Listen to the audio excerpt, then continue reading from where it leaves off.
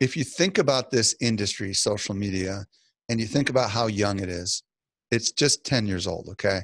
Um, it didn't exist pretty much, well, maybe, maybe depending on which platform, maybe 15 years at the high end. There's not that many industries that are this big that didn't exist, you know, that long ago. Considering how massively huge this is, and how new it is, it's it's shocking. So what you have is you have a lot of people who around 2008 when it really started blowing up about 10 years ago were out of work because the huge great recession or whatever we call it here in America happened.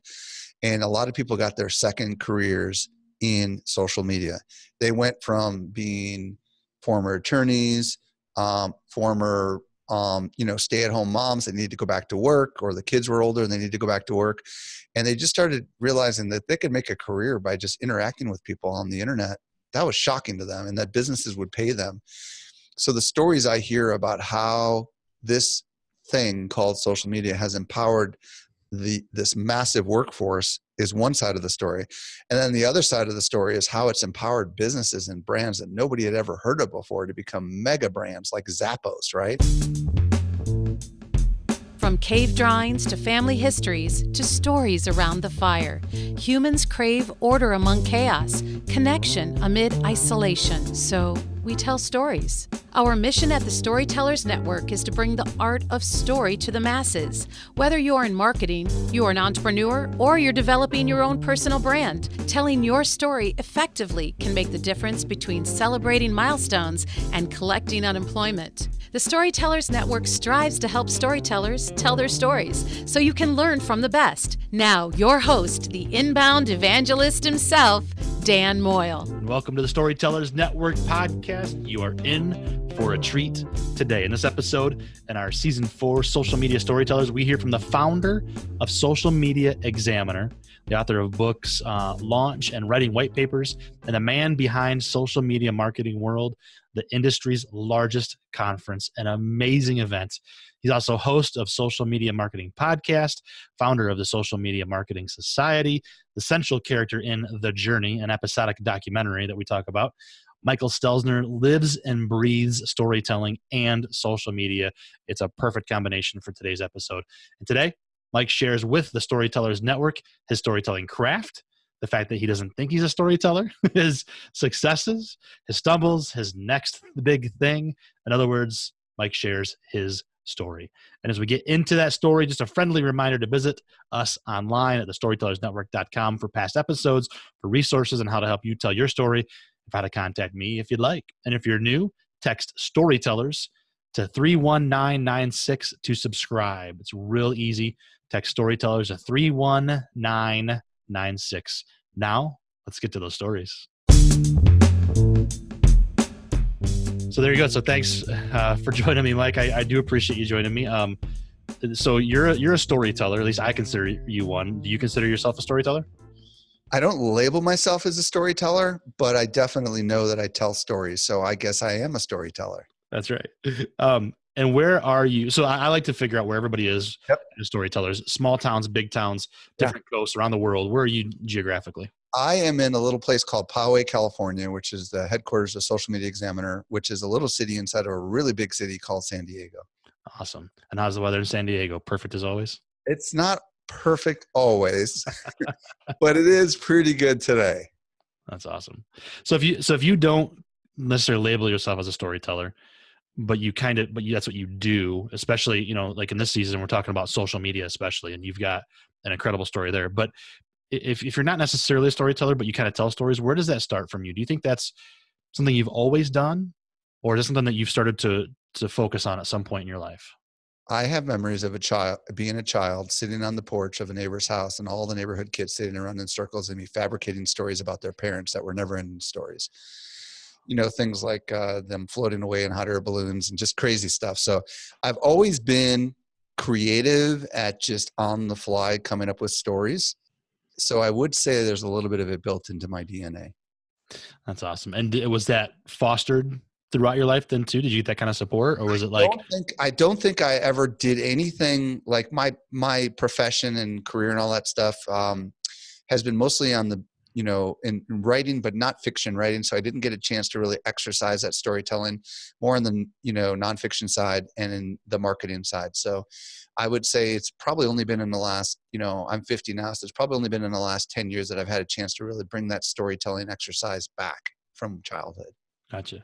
And so when you talk about the last 10 years and, and professional storytelling, um, I know, I know some of your story, but let's get into that a little bit for, for sure. listeners.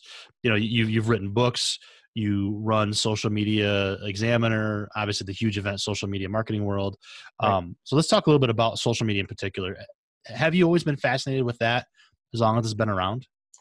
No. no? Um, actually, I thought it was kind of weird in the beginning, to be honest with you. Uh-huh. I was a writer so I was a professional writer, and big businesses hired me to come translate the gobbledygook from their engineering team and product marketing people into something the sales team could use, right? So I'd write these things called white papers, which are article meets brochure. And all of a sudden, around the 2000s, mm, mid 2000s, you know, I was mostly serving tech companies. And around the mid 2000s, early 2000s, tech bubble exploded, lost a lot of clients. And then I started to notice like, 2005ish, hmm, people started talking about like LinkedIn and Facebook a lot. And I was like, I wonder if there's a connection between that and the white papers and if I can connect the dots. Cause like the people that were hiring me to produce these white papers were marketers. And the marketers seemed to be going crazy about these social networks. So that's what got me intrigued. And I started writing for my industry, the white paper industry, showing them by bringing in a little experts of how potentially they could take this boring thing called a white paper and maybe get some leads or exposure over social media. And the more i started writing about like how to do something on twitter or on facebook man that stuff just exploded in popularity. And i'm not just talking about like in my industry like the whole industry. And i began to say what? There's something here. So i saw the early opportunity to potentially transition my entire business and focus on this new thing that was known as social media. My first thing that I did, Dan, and I think you know the story, is in 2009. You may not know this, but I decided to come out with a report and I called it the Social Media Marketing Industry Report. And I had surveyed thousands of people, mostly my friends, their friends, their network on Twitter, took a survey. I knew how to do surveys because of my white paper days. I knew how to write reports. And I called it the Social Media Marketing Industry Report. And this is the first time anyone in the world had ever used the word social media and industry together. All these people started going nuts saying, oh, We're an industry. What? and that's when I started, you know, connecting all the dots, and the rest is kind of history. Now we're kind of really helping that industry grow quite a bit. Yeah, absolutely, you are. You're a thought leader for sure. Do you do you think that there's there's a chance is there an opportunity in reports like that and white papers to be a storyteller? No, I don't think there is necessarily a chance to be a storyteller, but I think you can have stories around it. So, hmm. um, I would say that the data, it's hard to make a story around something as boring as charts and data, you know, inside of a report, but it's easy to stand up on a stage and say, here's what the data shows us, here's what it means, and here's some examples of people that are successful and you can share their stories. So i think there's ways you can you can leverage data and you can create stories behind those data that data set and you can get very, people very excited about it. Well, that's cool. And and for that report is that kind of when you decided the social media might be a field to yeah. really dig into for you? Yeah. yeah i mean i was still all focused on white papers and and i got a crazy idea after that report. I thought to myself maybe I should try to see if I can go get a domain. So I went and I was able to find social media examiner shockingly was not taken. I registered it for like $10 on godaddy. And then the first thought in my mind was that i'm going to get sued by the san francisco examiner because i'm here in california. So i trademarked it just in case. That's smart. That's smart. You know and then i reached out to some of my friends who are writers and i said do you want to write for this new thing? I'm creating a little movement here and if you could just please submit one article a month until it doesn't work for you anymore hmm. and i'll write four. And we got to the point where i got enough people to write one a month and i wrote one a week. And then all of a sudden everybody wanted to write for this publication because it was the first publication that was actually teaching how to stuff. And everybody else was complaining about social media back then. You know they were personal blogs saying what they hated about Facebook, but nobody was actually giving away information. They were all trying to say, come hire me. And I was Mhm. trying to say, no, no, give it all away because I learned that from the white paper days. Give the knowledge away, prove your expertise, and then they'll come flocking to you. That's cool. And and it's it's incredible to see the growth from back then to what it is now. I mean, where do you think social media is going next? Whew, that's a big question. Right. Um, it's hard to answer when you're thinking about the billions of people that are using social platforms, right? I think that where social is going next is um, all the a lot of the social media platforms are, are are rushing to to compete with television, right? So you've got this concept of native video, and you've got the Facebook Watch platform where people they're trying to get people to watch videos, shows on Facebook that are just like shows you might watch on Netflix, right? Um, so I think what's happening is there's this great race to try to capture the living room and to try to watch content on the social platforms. Even LinkedIn, you know, now has native 10 minute videos.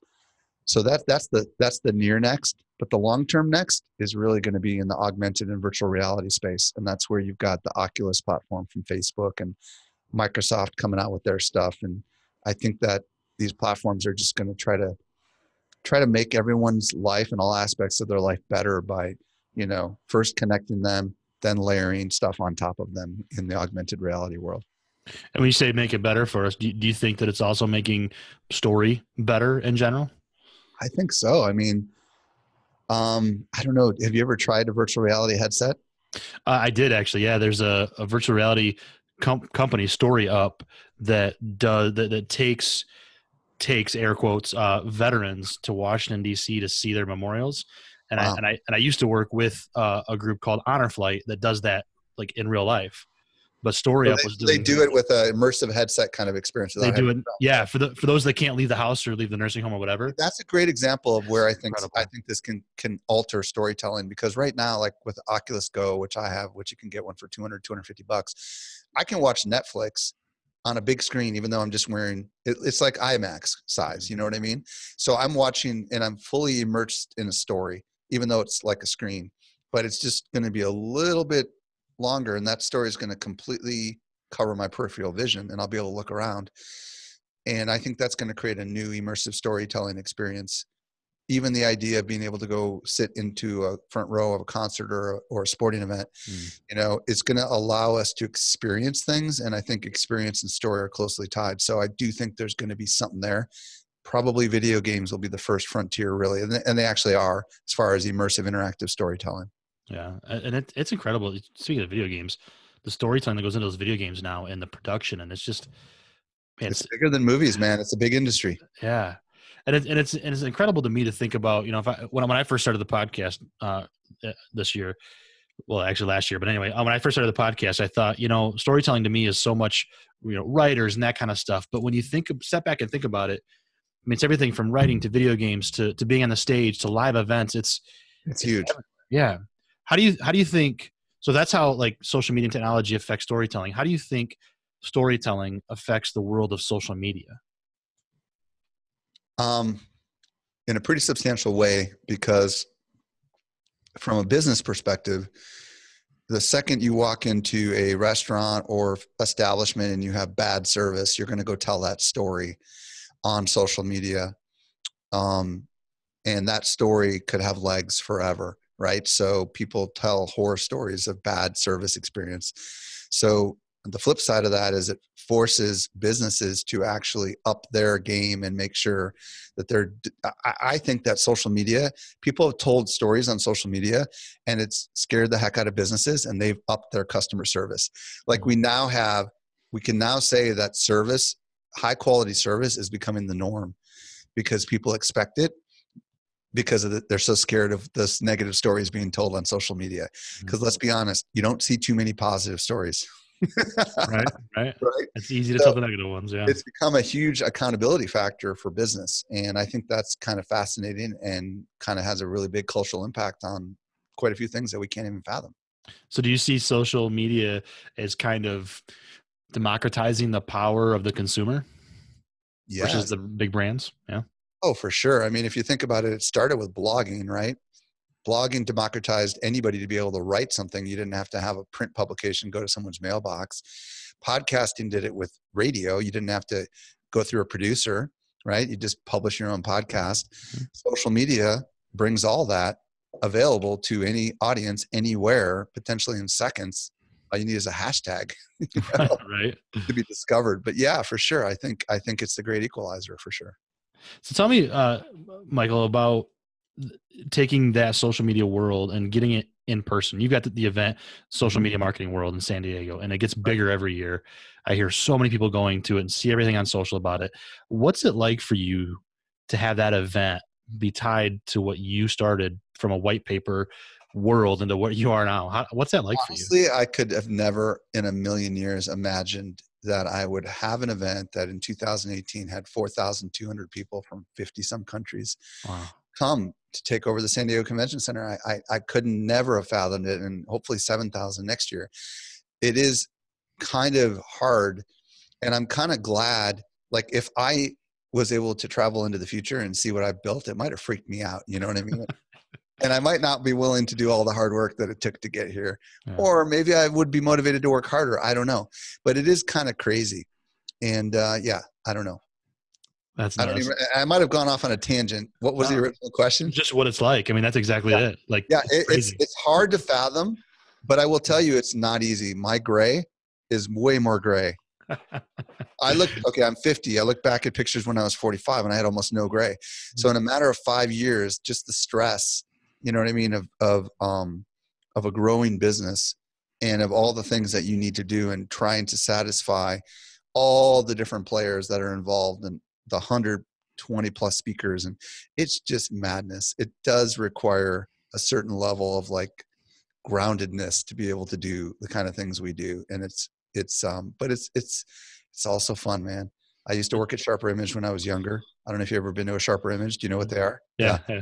So for those that don't know what they are, it was uh, a store that sold really weird tech. Every week the store would be reconfigured. Every week it was, and it was Richard Thalheimer was the founder.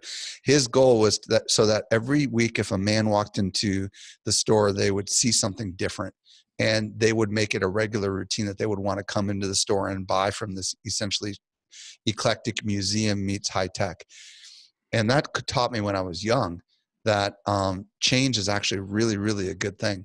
So I just kind of learned to embrace it and roll with it. It can be it can be a powerful motivator to get people to come around, right? For sure. And you know what? In the social media world, change is is a stat is I mean that's the only constant. Every day, every day they're changing something. So I, I, can I can hear the passion in your voice about the event itself and, and connecting with all these folks. Have you seen like so I, I want to preface this by saying, you know, I think a lot of people look at social media as this kind of, you know, playground. It's kind of a toy or whatever. But in reality, I mean, I, I got to believe you've seen it change people's lives when they oh, come yeah. to your event and talk to you. I mean, tell me about that. You got a story that stands Boy, out for you? There's so many stories. I can't even begin to know where to start. but, but yes, um, if you think about this industry, social media, and you think about how young it is, it's just 10 years old. Okay. Um, it didn't exist pretty much. Well, maybe maybe depending on which platform, maybe 15 years at the high end. There's not that many industries that are this big that didn't exist, you know, that long ago. Considering how massively huge this is and how new it is, it's it's shocking. So what you have is you have a lot of people who around 2008 when it really started blowing up about 10 years ago were out of work because the huge great recession or whatever we call it here in America happened.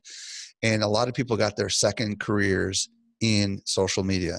They went from being former attorneys, um, former um, you know, stay-at-home moms that needed to go back to work, or the kids were older and they need to go back to work, and they just started realizing that they could make a career by just interacting with people on the internet. That was shocking to them, and that businesses would pay them. So the stories I hear about how this thing called social media has empowered the this massive workforce is one side of the story. And then the other side of the story is how it's empowered businesses and brands that nobody had ever heard of before to become mega brands like zappos right? A company that sold shoes that ended up being acquired for a billion dollars by amazon got famous because of twitter you know? And because they were just all over the place and people were talking about them on social platforms because of their amazing service who would have thought that you could receive shoes and mail them back? That was a foreign concept, right? And mm-hmm. the list goes on and on and on. So it just brought these really innovative businesses together with these passionate people and just kind of exploded. And big, big businesses, you know, have been built on the back of social media. Oh yeah, and I hear I hear a thread of hope in there. Whereas so right. often, like you said, early, even just uh, on the early days, people complained about social media. I think they're still there, right? They're complaining about you know all the politics or all the junk or all the whatever, all the spam, and like there's a right. thread of hope there actually. I think there is because while it's true that it's changed and now it's not free as much as it's got to pay, there's still opp- there's still incredible opportunity. I mean, and there's just so many people, for example, that came out with a YouTube video and you know, and all of a sudden they're on America's Got Talent, or people that are using Instagram or even Vine, you know, when that was around, mm-hmm. they were doing six second videos. Like Zach King is a great example. I don't know if you know who Zach is, mm-hmm. but Zach is this guy that's kind of a digital artist slash magician where he would do these crazy things where where using um, after effects or one of those kind of things he would do these crazy tricks and before you know it he's on the amazing race and then he's got book deals and now he's got a movie deal with amblin entertainment and the guy's just like a superstar. It all started because he was doing six second videos on vine you know? And it's just i think just i don't know it's it's it, it, it's really hard for me to find a single story dan. Yeah. Oh yeah. And, and, and do you like is it okay that there's still this kind of underbelly of crap out there and because we have so much great stuff, the guys like Zach, where he yeah. used Vine for good, whereas you know there's also this other side of it. I mean, how? So so it's, so it's okay. How, that's how I look at this. Um, in the beginning, there were three television stations: ABC, NBC, CBS. Right. Then cable came around, and there was a lot of crap and you know that that's true right mm-hmm. But there was also a lot of good that came out of having like 100 channels because if you were a sports person you could tune in just to sports 24 hours a day or if you were into home improvement you could turn into home improvement channels or food or whatever right? Then all of a sudden what ended up happening was the internet popped right? And then all of a sudden you could get you could read blogs on every conceivable topic, but there was a heck of a lot of crap out there too, right? Mm-hmm. Um, and then all of a sudden, you know, it just keeps expanding and expanding and expanding. So when you give a platform, when you make it easier to get into a platform, everyone rushes in and the good rises to the top and the crap, hopefully, you know, people ignore it. But the reality is there are always going to be people that are going to abuse. There's always going to be people that use it for bad and there always has been from the beginning of mankind until when people could first write or first speak you know what i mean? There were crazy people and there were good people. And it's not that that that it's not that it's just that it's easier for these messages to disseminate.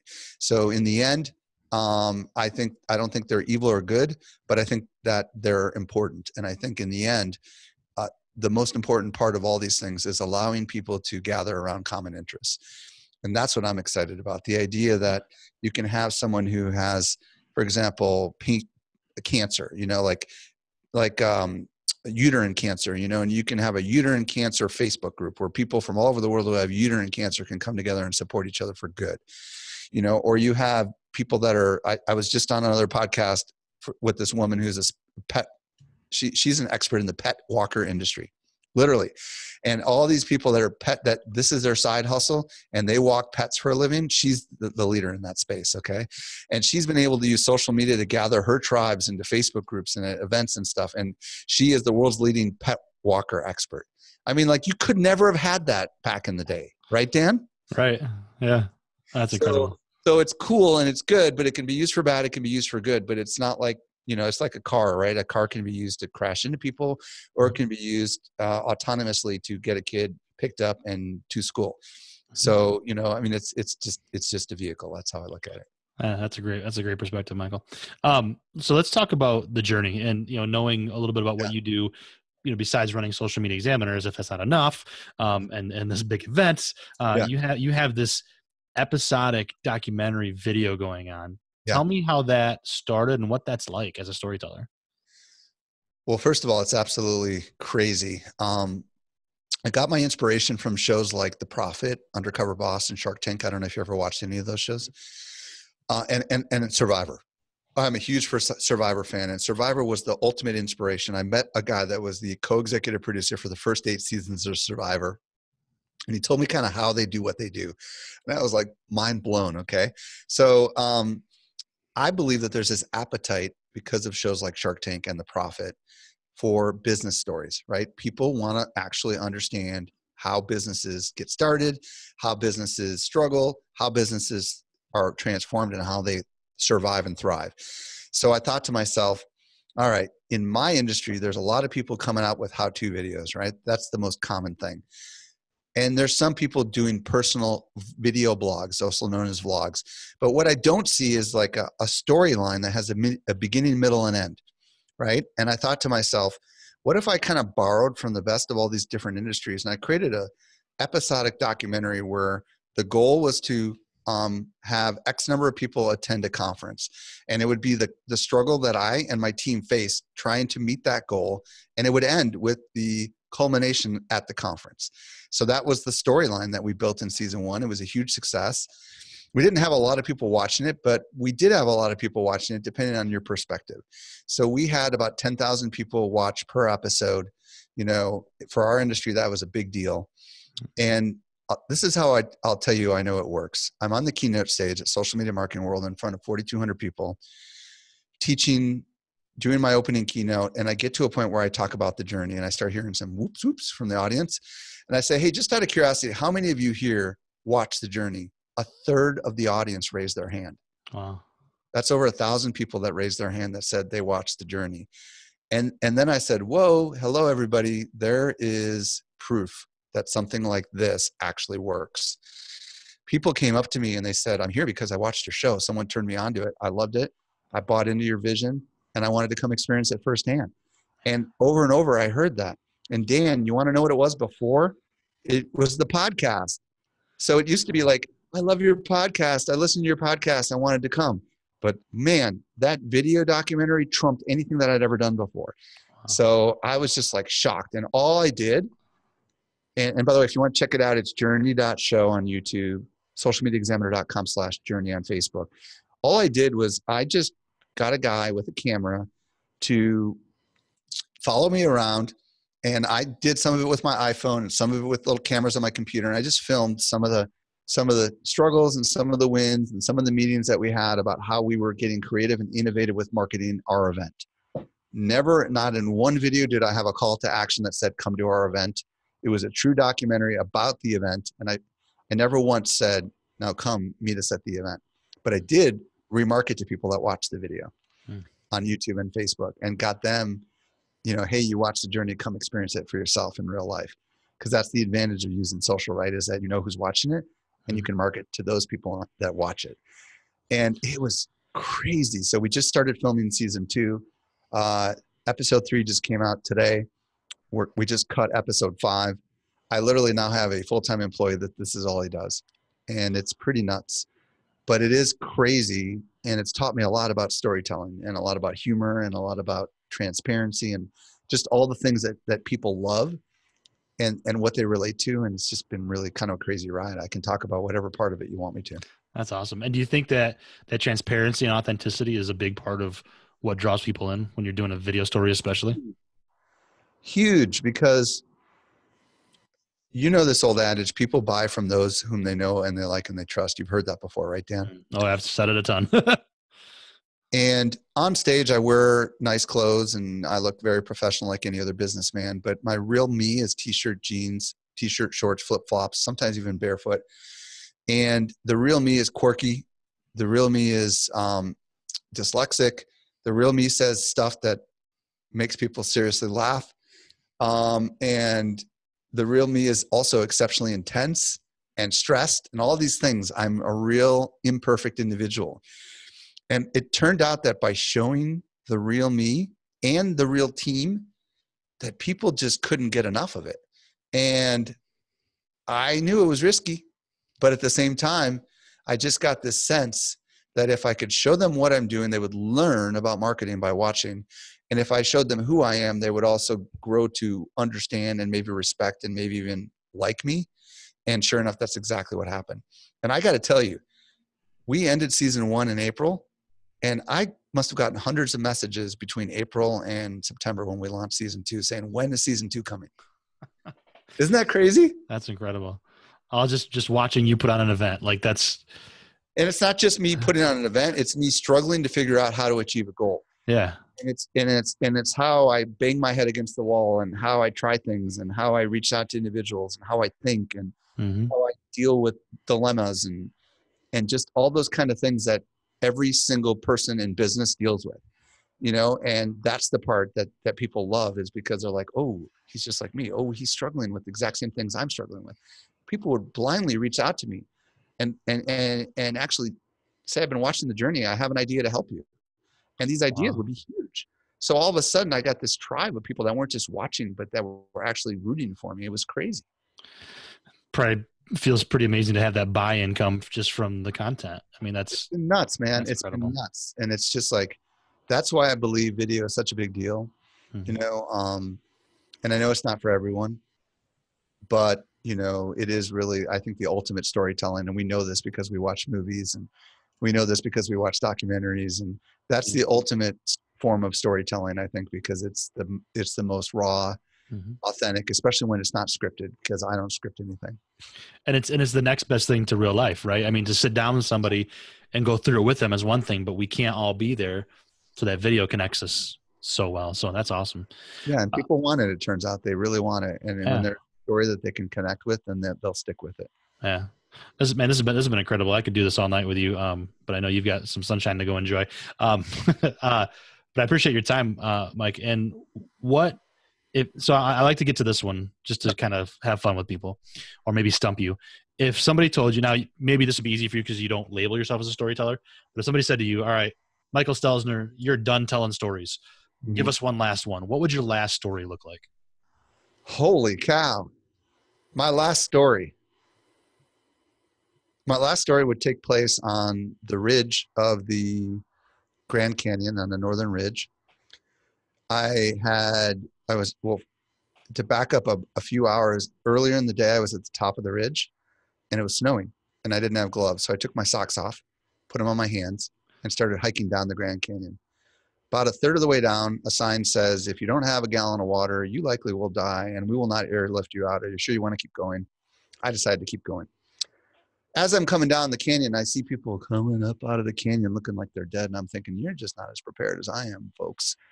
So eventually get to the flat part of the Grand Canyon with some of my buddies. And it's now time to start going up. And I was like, that wasn't that hard of course i've been going down thousands and thousands and thousands and thousands and thousands of steps now it's time to start going up those steps and eventually i start realizing all the training that i had been doing was for nothing i my heart did not my my physical stature even though i was like 21 and in the best shape of my life i was not prepared and eventually uh, my friends start getting ahead of me and i start watching donkeys come past me and i'm thinking man there's some wisdom in the people that took those donkeys I find a little tree. I yell to one of my friends, hide some, hide some of that dried fruit, you know, in the next tree because it's going to be a while. Eventually, I get to the top, and um, as I'm coming out of that canyon, I see people just heading down for the night, and I'm thinking to myself, "You have no clue what you're in for," and eventually crashed. And I think that that experience is a metaphor for my life because that experience is one of we are never ever prepared for what's around the bend yet sometimes we just got to go for it and sometimes we got to rely on our friends and i don't know why that would be the last story i would tell but that's the one that came into my brain because it's just kind of a nutso story that it's a true story that happened to me and there's so many little sub stories that i could tell but i would tell the story of the grand canyon just because it's a cool story. And inspirational and educational and everything i know about you yeah. that you strive for so that's a good one man. Thank you man. what's uh what's the best way for people to to find uh michael stelzner um social media you could just google michael stelzner and you could reach me on just about any platform. Twitter is mike underscore stelzner. Or you could just go to socialmediaexaminer.com and there you'll find absolutely everything. Excellent. We'll put them in the show notes man. Thanks for your time today. I really appreciate you being on the show. My pleasure And there you have it. Mike Stelzner, social media examiner, social media marketing world conference of the journey. Man, that guy does not sit still. Thank you so much, Mike, for joining us. Really appreciate it. Listeners, be sure to go visit Mike and Social Media Examiner online. You can find links to all those resources in the show notes. And if you enjoyed the episode, please consider sharing it. You guessed it in social media. Twitter, Facebook, LinkedIn, wherever you want to share it, please do. I do appreciate that very much. And consider leaving a review as well. Those always help to uh, give a little legitimacy to the show. People go read through those and they go, oh, yeah, this guy doesn't suck, right? At least I hope so. Uh, and if you're new here, you want to subscribe, text storytellers 31996 and you can subscribe. Thanks for listening. Until next time, here's to telling our stories and having stories to tell. Cheers.